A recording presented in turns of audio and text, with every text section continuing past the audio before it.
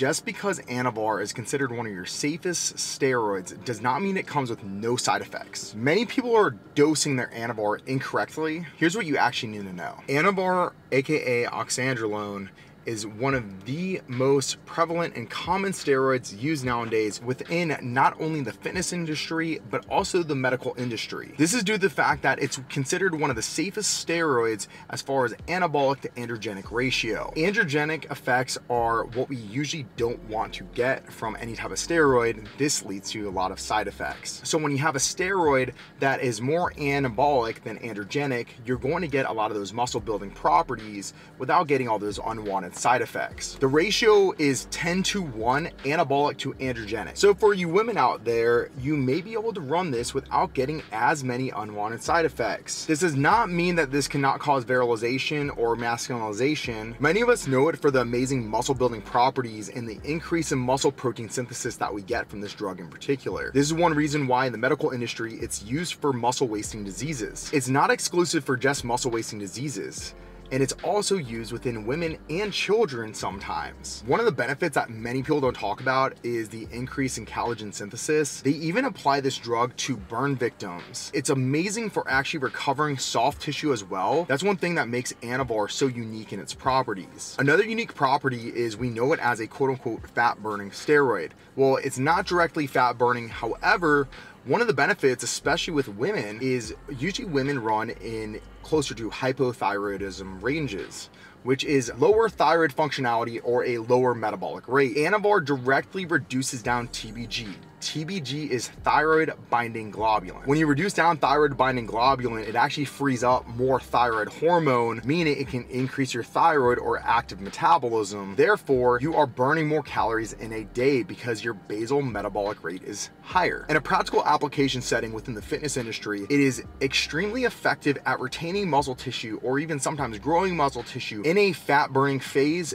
when you're getting ready for potentially a competition or even a photo shoot. So what are some of the dosings that you see within the fitness industry. I'm gonna start off with the dosings are usually too high. If you're getting true pharmaceutical grade Anavar directly from a compounding pharmacy, 2.5 milligrams to 5 milligrams is a very maintainable dose for a longer period of time without many side effects. In fact, you may see mostly only benefits out of it rather than all the unwanted androgenic side effects that you don't want. Dosings that you usually see within the fitness industry are going to be somewhere between 10 milligrams up to even 30 milligrams of Anavar. 10 milligrams is the max threshold I see where it's really needed, where you're getting effective dosages and is actually making a difference within the physique as well as the benefits besides just the appearance. Now, notice that I said pharmaceutical grade Anavar. A lot of Anavar in the underground world is fake. What is it commonly faked with? Dianabol. Dianabol will cause massive issues very quickly within women. One way to know whether it's real or not is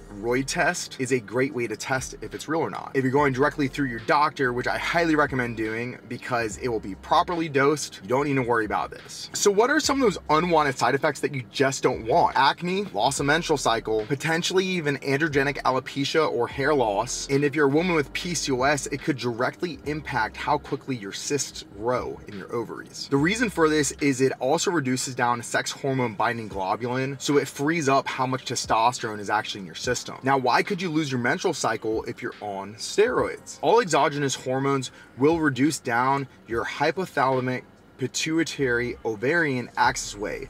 So your ovaries talking to your brain. When this happens and it reduces down too much, you might lose your menstrual cycle because you're not producing enough natural hormones anymore. Now in a dieting phase, you may be taxing your adrenals. 50% of your hormones are created in your adrenals as well as your ovaries. So if you downregulate both of these, you usually see a loss of menstrual cycle. That is why it's so common when you're dieting down for a show that you lose a menstrual cycle, especially if Anavar is in the mix. So what are some ways to prevent some of these side effects? One really good natural supplement that helps with acne is saw palmetto. Another one that's very cheap is actually a shampoo that you can find with Nizoral AD or ketoconazole. It's an anti-dandruff shampoo, but it will also prevent that hair loss. That was one of the side effects that you may potentially see. Usually hair loss within women is usually due to low thyroid functionality though. However, it's very possible that Anavar could contribute towards hair loss. When it comes to dosing, every woman is going to be completely different. Always start lower rather than higher. You can always increase the dosing if you want to. If you're tolerating it really well, sure. But just understand every time that you increase it,